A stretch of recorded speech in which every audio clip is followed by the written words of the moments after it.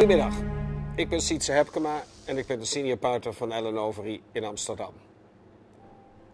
Met mijn grijze kop hoor ik natuurlijk niet thuis op een evenement voor young professionals.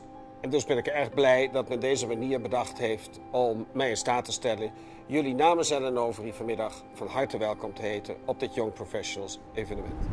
Wij spreken over netwerken. En netwerken doe je al vanaf je geboorte. In eerste instantie met je ouders. Aan de hand van hen leer je de wereld kennen. School, universiteit, kroegen, verenigingen. Je breidt je netwerk maar uit, alleen je noemt het nog geen netwerk. En dan ga je werken. En dan wordt het opeens netwerken. Is dat nieuw? Nee, netwerken is van alle tijden. De Romeinen deden het al met elkaar op het forum en ze bestuurden de wereld ermee. Onze voorouders, de Batavieren, deden het met de Romeinen op hun beurt, maar dan op het slagveld. Door de tijden, denk aan de gilden, gezelschappen van leerlooiers, meubelmakers, schoenlappers.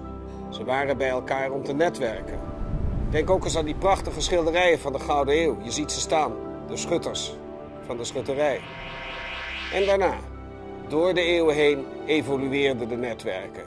Jachtgezelschappen, rookgezelschappen, herensociteiten, allemaal verschijningen in de 18e en 19e eeuw. En dan de 21ste eeuw. Internet. Digitaal netwerken. Wat een ontzettend nieuwe dimensie. Onmiddellijk toegankelijk en je bereikt er de hele wereld mee. We doen het allemaal. Wie is er niet geweest op Facebook en Hives? Wij allemaal toch? Maar digitaal netwerken maakt face-to-face ontmoetingen niet overbodig.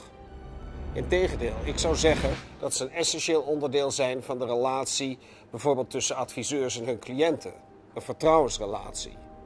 En daar ben ik ook zo blij dat de juristen van Ellen Overy dit initiatief genomen hebben om vanmiddag met jullie, onze gasten, bijeen te zijn. Netwerk. Maak je wereld groter. Zet jezelf neer. Dat is goed voor jullie en voor ons, Ellen. Ik wens jullie vanmiddag veel plezier.